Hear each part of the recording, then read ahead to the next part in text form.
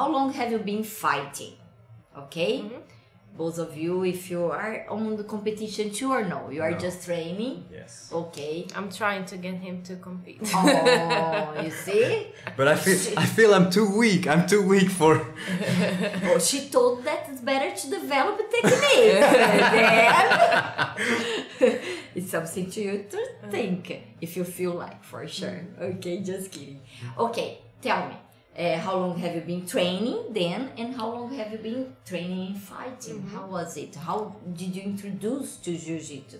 Rick mentioned that it was by Cristal uh, but how was this first contact and how it goes? Uh, yeah, so I I just wanted to start doing a sport because I was also just in the gym uh, lifting weights. Uh, so then I got introduced to judo, and I did that for about half a year, and then I realized I liked the the ground part more. So then I looked up a jiu-jitsu academy, and I went there and trained, and then I got stuck there. Uh, so I started in 2016, and two months after I started, my my coach said, "Oh, I th- think you should uh, compete this competition." oh my Yeah, so then I was just like, okay, I didn't know the rules, I didn't know the point system, I didn't know anything. Really? And how was it? Then I'm curious. How Uh, was it? it was fun. It was fun. Uh, so I got second place. But Second place for the first time in two months is too much yeah. for me. Okay. yeah, but it was a white belt competition. uh-huh. Uh, but it was fun. I liked it. And then I didn't compete for almost a year. And then I met my husband. And then he was like, oh, I think you should compete. And then I started competing and it went good. That's right. That's nice. Ok. Então, ela começou, né, em 2016. E aí, ela teve experiência um pouco com judô antes, ok? Mas aí em 2016 que ela adentrou no jiu-jitsu, né? E com apenas dois meses, o técnico dela ele falou: Ó, vamos competir, tem uma competição, vamos lá. E ela encarou o desafio, né?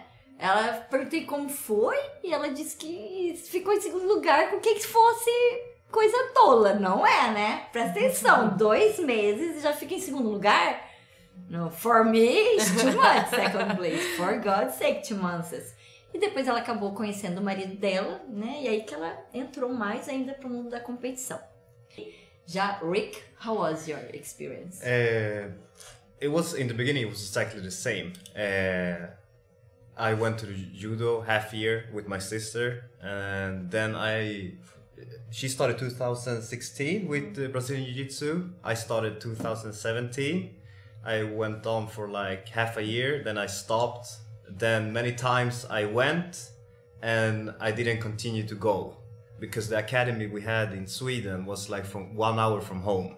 So for me, it was a lot of time and managing having a job and um the training times there were, it was too hard for me. So I couldn't keep on training. So I was always on and off and going like one time and then not going for six months.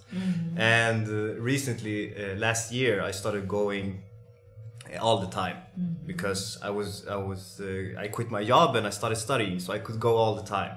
Uh, so I went from last year uh, from August until I got hurt now in January. So I have like a year. I'm not like my sister. My sister is like elite. I'm a beginner. No.